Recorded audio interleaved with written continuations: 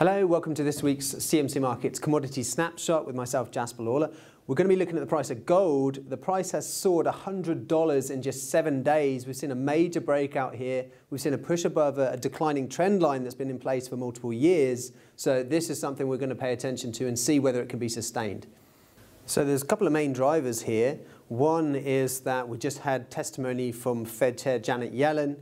She indicated that there's probably going to be a pretty gradual, slow increase in interest rates in the US this year. And then we look across overseas and we see the Bank of Japan cutting rates into the negative. Today we saw the Swedish bank, the Riksbank, cut into the negative. The ECB, the European Central Bank, has cut interest rates to the negative. So these lower interest rates mean that any asset which doesn't yield anything like gold can still perform quite well.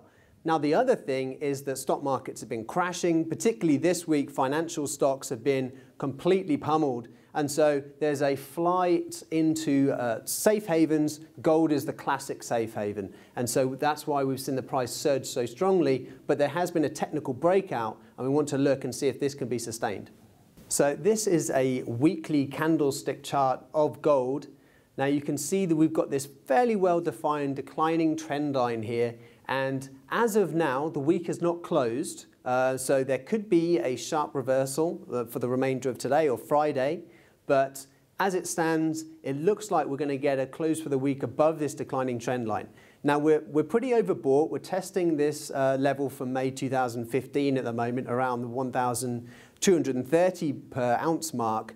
But even though we could get a slight pullback, this is a game-changing moment, and it could be that we've seen the end of the, down, the, the downtrend in gold.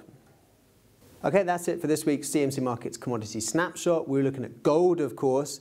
There's been a big breakout beyond this downsloping trend line. We need to see how we finish this week first, and then the factors to watch are again, you know, how does the Federal Reserve react to the skyrocketing gold price, falling stock prices, and, and how does that interpret itself in, in the demand for, for safe haven assets like gold?